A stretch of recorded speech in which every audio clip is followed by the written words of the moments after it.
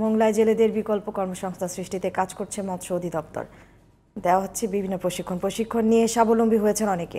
মোংলা প্রতিনিধি মনিরুল ইসলাম দুলু রিপোর্ট জানাচ্ছেন কিরণ মোস্তফা।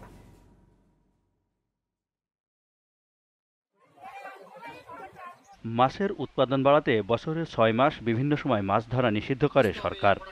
এ সময় কর্মসংস্থান না থাকায় মানবেতর দিন কাটে বেকার জেলেদের।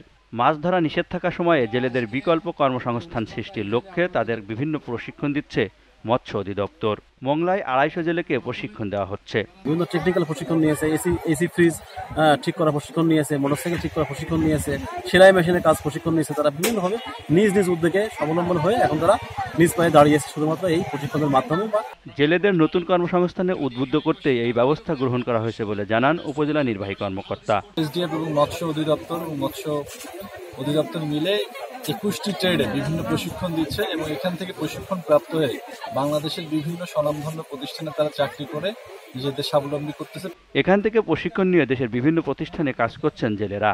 স্বাবলম্বী হয়েছেন অনেকে। ট্রেনিং করছি ডিএমএসএস থেকে শার্ট প্যান্ট তৈরির উপরে। কোর্সটা শেষ করার পরে আমি দিনরাত একটা পার্লারে জব করছি। এখন বাড়ি বসে দর্জি কাজ করি মেশিন কিনেছি। এখন আমি বর্তমানে ইপিজি ভিআইপি চার নম্বরে চাকরি করি। আমি প্রতি মাসে সাড়ে আট হাজার টাকা স্যালারি মৎস্য অধিদপ্তরের এমন উদ্যোগকে স্বাগত জানিয়েছেন স্থানীয় জনপ্রতিনিধিরাও। মাননীয় প্রধানমন্ত্রী যে সব ব্যবস্থাটা নিয়েছেন, এটারে আমরা খুব যুগান্তরী ব্যবস্থা নিয়েছেন, এটারে আমরা খুব ভালোভাবে এটারে আমরা ওয়েলকাম দেশের ষোলো জেলার পঁচাত্তরটি উপজেলার সাতশো পঞ্চাশটি ইউনিয়নে এই কার্যক্রম শুরু করেছে সরকার।